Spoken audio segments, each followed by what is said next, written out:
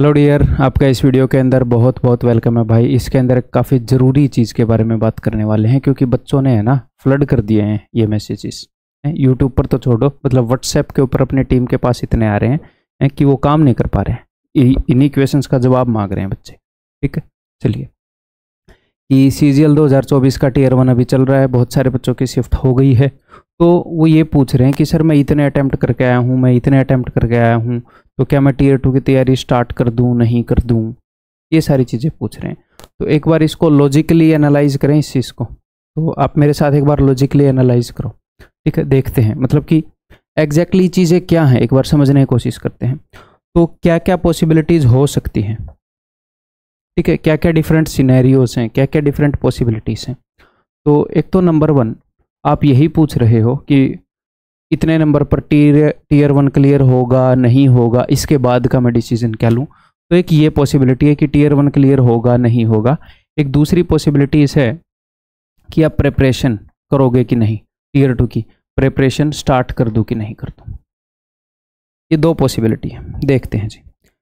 Scenario number one गुलाबी रंग से। सिनेरियो नंबर वन कि टीयर वन आपका क्लियर हो गया, ठीक है? और आपने प्रिपरेशन स्टार्ट कर दी। आपने आज ही प्रिपरेशन स्टार्ट कर दी और बाद में हमें पता चला कि टीयर वन भी मेरा क्लियर हो गया। एक्चुअली पहले ये काम करना है हमने। पहले ये काम करना है ना प्रिपरेशन स्टार्ट करूँ या नहीं करूँ, बाद में हमें पता चलेगा कि टीयर वन क्लियर हो गया, ठीक है?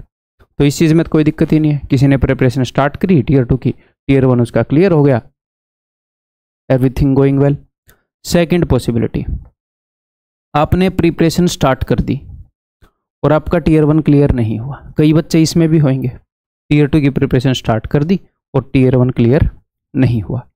थर्ड पॉसिबिलिटी आपने प्रिपरेशन स्टार्ट नहीं करी और आपका टीयर वन क्लियर हो गया। तो आप उसके बाद प्रिपरेशन स्टार्ट करेंगे।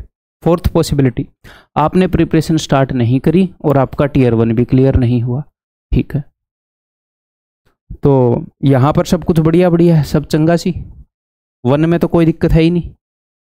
किसी बच्चे ने बढ़िया डिसीज़न लिया, उसका टीयर वन भी क्लियर हो गया क्योंकि उसने बढ़िया तैयारी करी थी, बढ़िया तरीके से पेपर दे के आया था। ये चौथा है, इसको विश्वास भी नहीं है कि मेरा क्लियर हो जाएगा और इसका हुआ भी नहीं। ये भी सेल्फ अवेयर है। अब मुझे एक बात बताओ, इनमें तो कोई प्रॉब्लम है नहीं। ज़्यादातर बच्चे यहाँ पर अटके हुए हैं कि कहीं मैं तैयारी शुरू कर दूँ और मेरा पेपर क्लियर ना हो, कहीं मैं तैयारी शुरू ना करूँ और मेरा पेपर क्लियर हो जाए तो यहीं पर है डाउट तो एक बार मुझे एक बात बताओ, गंदी सिचुएशन कौन सी है इन दोनों में से?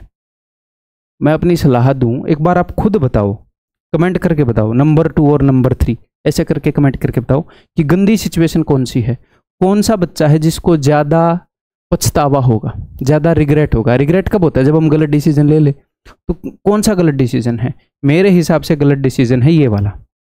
ये वर्स्ट है। क्योंकि क्या हुआ? कि इसने प्रिपरेशन स्टार्ट नहीं करी रिज़ल्ट की वेट करता रहा। क्योंकि फ़िलहाल जो टीयर टू है ना, उसके लिए सबसे कीमती जो चीज़ है, वो है आपका टाइम इस टाइम के अंदर आपने क्या करना है? ये सारे subject GK English reasoning math ये सारे कवर तो डेफिनेटली नहीं करने हैं ये कवर होंगे भी नहीं। लेकिन इनमें से जो आपके वीक पॉइंट हैं जिस टॉपिक के अंदर इम्प्रूवमेंट हो सकती है, है वो छांट छांट के हमें क्या करने हैं? इम्प्रूव करने हैं वो रिवाइज करने हैं हमने। ये करना है मेनली ये करना है हमने है ना? तो सबसे कीमती ये चीज़ है क्योंकि एसएससी का भरोसा नहीं उन्होंने दिसंबर 2024 लिखा है तो हो सकता है पहले हफ़्ते में ले ले पहली तारीख को वो ले ले अब की बार उसने ऐसा किया है? ईयर वन के अंदर यही तो किया उसने। तो ये वर्स्ट केस है। अब दूसरा सिनेरियो देखते हैं। आपने प्रिपरेशन स्टार्ट कर दी और आपका क्लियर नहीं हुआ। तो अगर आप वाकई में गवर्नमेंट जॉब चाहते हैं तो आप फिर से ट्राई करेंगे। जनरली बच्चों के पास ऑप्शन नहीं होता। मेरे पास भी ऑप्शन नहीं था कि भाई लाइफ में जो काम कर रहे हैं, उसके ऊपर काम छोड़ने का कोई ऑप्शन ही नहीं था। ठीक है? तो अगर आपने अच्छे से तैयारी करी है और टीयर वन क्लियर होने की वो है अब बॉर्डर पे बॉर्डर पर से आपका नहीं हुआ। अब आपके सौ ही नंबर आए तो वो अलग बात है। मैं नहीं मानता कि किसी के सौ नंबर आए तो उसने अच्छे से तैयारी करी। लेकिन बॉर्डर पर आप रह गए तो ठीक ठाक तैयारी करी है।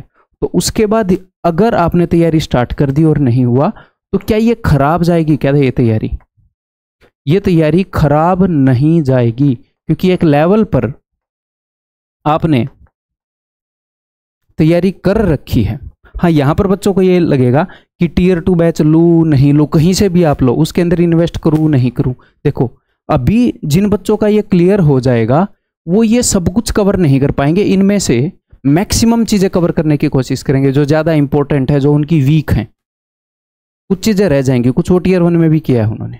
दो महीने के अंदर बिल्कुल सब कुछ बड़ी हड़बड़ी में होगा, ग्यारह बारह घंटे हमें देने पड़ेंगे। तो अगर आपको बाद में पता लगता है, आपने तैयारी स्टार्ट करी कि आपका पेपर नहीं हुआ क्लियर नहीं हुआ। तो फिर आप तसल्ली से इनको कंप्लीट कर लेना। चाहे आप सेल्फ स्टडी से करो, कहीं से भी करो, किसी बैच से भी करो, टीयर टू का बैच भी ले लिया तो फिर उसको तसल्ली से करो आप। और जो आपके पास टीयर वन का बैच है, उससे तसल्ली से करो। समझ में आ गई बात? तो फ़ायदा किसमें है? फ़ायदा है तैयारी स्टार्ट करने में। तैयारी स्टार्ट करने में। उसमें अपना कोई नुकसान नहीं होएगा। हो सकता आप लोगों को लग रहा हो कि, लेकिन नहीं होएगा। एक बार खुद ये चीज़ सोचो आप। चीज़ों को ऐसे एनालाइज किया करो। अब आगे बढ़ते हैं। कट ऑफ़ की सर कट ऑफ़ बता दो। आपने तो ये बताया ही नहीं, कोई नंबर तो दे देते। देखो मैं आपको एक बात बताऊँ। एजुकेटेड गैस लिया जा सकता है कि इतनी है सारे फैक्टर्स को मद्देनजर करते हुए एक नंबर के ऊपर हम पहुँच सकते हैं। वो एजुकेटेड गैस ही होगा गैस होगा। कोई भी बंदा आज के दिन ऐसे बैठ करेगा क्या? इतनी ही कट ऑफ़ जाएगी, मैं गारंटीड देता हूँ, मैं एफिडेविट बनवा रहा हूँ कि इतनी कट ऑफ़ नहीं गई तो मेरी ज़मीन, मेरा जायदाद, सब कुछ जो भी है, मैं बेच कर बच्चों में पैसे बांट दूँगा। मैं इतना श्योर हूँ इस चीज़ के बारे में। है कोई इतना श्योर नहीं है। तो हमें पता है, और मैं ये नहीं बोल रहा किसी को श्योर होना चाहिए, नहीं भी होना चाहिए, क्योंकि फैक्टर इतने ज़्यादा हैं। तो भाई सीधी सी बात है, आपने कैसी तैयारी करी है, कैसा आपका पेपर है?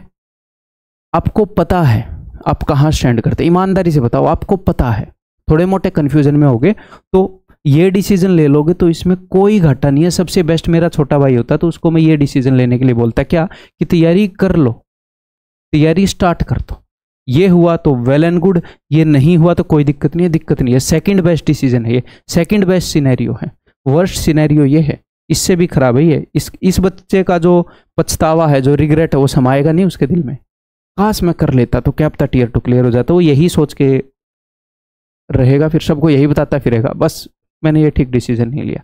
तो ये बेस्ट सिनेरियो है, ये सेकंड बेस्ट सिनेरियो है। तो अगर आप तैयारी स्टार्ट कर दोगे तो सेकंड बेस्ट में रहोगे वर्स्ट केस में सेकंड बेस्ट में रहोगे। क्लियर है? तो इतने सारे फैक्टर हैं, उतना राइट आपको नहीं बताया जा सकता, बताया नहीं जा सकता। बेट करके तो नहीं बताया जा सकता, अगर कोई गारंटी लेता है कि ये लो ऐसे मैं बेट करता हूँ, कोई नहीं करेगा। करना भी नहीं चाहिए। तो समझ में आगे बात? रियलिटी क्या है वो मैं आपको बता रहा हूँ। मैं आपको बता देता। हाँ मैं इतना बोल सकता हूँ कि सौ नंबर आ रहे हैं तो भाई मत करो तैयारी तो उतनी तो समझ आप में भी होगी। मत करो तैयारी, यानी कि अगले साल के फाउंडेशन की तैयारी कर लो। स्टार्टिंग से तैयारी कर लो, सौ नंबर आ रहे हैं तो। ठीक है? Next over analysis causes paralysis जब हम कई बार चीज़ों का ओवर एनालिसिस कर देते हैं ना, ये होएगा, पिछले साल इंस्पेक्टर की कट ऑफ़ गई, ये गई, वो गई वो गई डीप में जा रहे हैं, उस जोन कितनी गई, इस जोन कितनी गई, उसी में लगे पड़े हैं। फिर काम नहीं हो पाता। जो रिज़ल्ट जो आता है ना, वो एक ही चीज़ की वजह से आता है एक्शन की वजह से। एक्शन की वजह से रिज़ल्ट आता है, जब आप काम करते हो। लेकिन आप रिज़ल्ट को ही इतना एनालाइज कर डालो, ये करूँगा, वो करूँगा वो करूँगा तो एक्शन लेने का टाइम कहाँ बचेगा? आप फल में ही इतने खो गए। वो शेख चिल्ली की कहानी सुनते थे ना? एक बकरी लाऊँगा, फिर उससे दूध देगी वो, फिर उसके बच्चे होंगे, उस वो दूध देगी, फिर इतने गढ़े हो जाएँगे दूध के, ऐसे ऐसे ऐसे। तो ये वो वाला मामला है। एक मोटा मोटा हमें पता होना चाहिए कंपटीशन के लिए कि कहाँ पर कट ऑफ़ जा रही है, क्या हो रहा है। उसके बाद चुपचाप इस चीज़ के ऊपर काम करो भाई। मेरे छोटे भाई को मैं इस लैंग्वेज में बोलता कि दिमाग खराब मत कर, काम कर ले अपना। ये बोलता, अगर वो ये चीज़ें पूछता तो ये चीज़ें पूछता तो। है कि अगर थोड़े से भी चांसेस लग रहे हैं, भाई पढ़ ले यार, है रोज़ रोज़ दिमाग मत का तो बहुत सारे मैसेज हो रहे थे भाई। और सो दैट्स ऑल इस वीडियो के अंदर मैं इतना ही कहना चाह रहा था। उम्मीद है कि आप राइट डिसीज़न ले पाओगे भाई। अपना पॉइंट ऑफ़ व्यू आप कमेंट में रख सकते हो। और जो अपना क्विक रिवीजन बैच था, उसकी अपडेट मैं पहले ही देना चाह रहा हूँ कि भाई फ़िलहाल क्विक रिवीजन के बैच के अंदर मैं वीडियो नहीं ला पाऊँगा। फ़िलहाल यूट्यूब के ऊपर। टीयर टू के लिए भी नहीं ला पाऊँगा। मैंने बोला था, इसीलिए मैं आपको पहले ही अपडेट कर रहा हूँ। ये ना हो कि कई बच्चे इसी की ताक में रहे, क्योंकि अभी टीयर टू बैच जो मैंने लॉन्च किया है, उसको कई लेवल पर मैंने अपडेट करने का सोचा है। मैक्सिमम जितने लेवल पर हो सकता है। ठीक है? बाद में मैंने उसके ऊपर प्लान बनाया तो उसके ऊपर टाइम लगेगा मेरा। सारा टाइम वहाँ पर जाएगा। तो मैं इसको अपडेट करूँगा अपने को। ठीक है? इन बच्चों को मैंने बोला अपडेट करूँगा तो ये मैं अपडेट करूँगा। क्या मैं इसका मतलब यूट्यूब पर लाइव नहीं आऊँगा? क्यों? लाइव नहीं मतलब यूट्यूब पर नहीं आऊँगा। ऑफकोर्स आऊँगा वहाँ पर मैं, भाई, जो कंटेंट में लेकर आ सकूँगा वो लाऊँगा। क्यू आर बी बैच बनाने में बहुत ज़्यादा टाइम लग जाता है। ठीक है? सो दैट्स ऑल भाई। बाय बाय टेक केयर अगली वीडियो के अंदर मिलता हूँ।